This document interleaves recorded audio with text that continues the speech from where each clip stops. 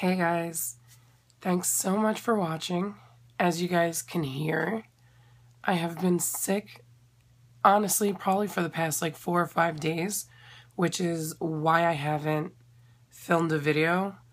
Um, I did put together like a little video slash slideshow of what me and my family did this past weekend that I wanted to share with all of yous.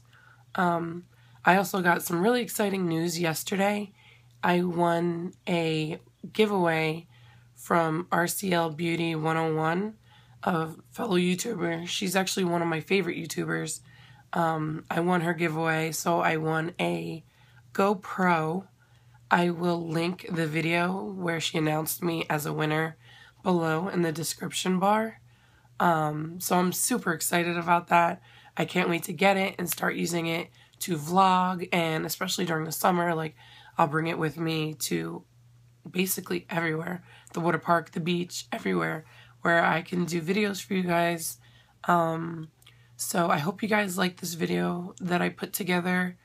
Uh, if I had a voice like my normal voice I would be posting a tutorial today but honestly my voice actually hurts just speaking right now so I just wanted to put together something for you guys to see. I hope you guys enjoy it. It involves my kids mostly and what they did this past weekend. Um, I hope you guys had a great weekend. And I promise as soon as I'm better, I will bang out like three videos for you guys. And until next time, bye.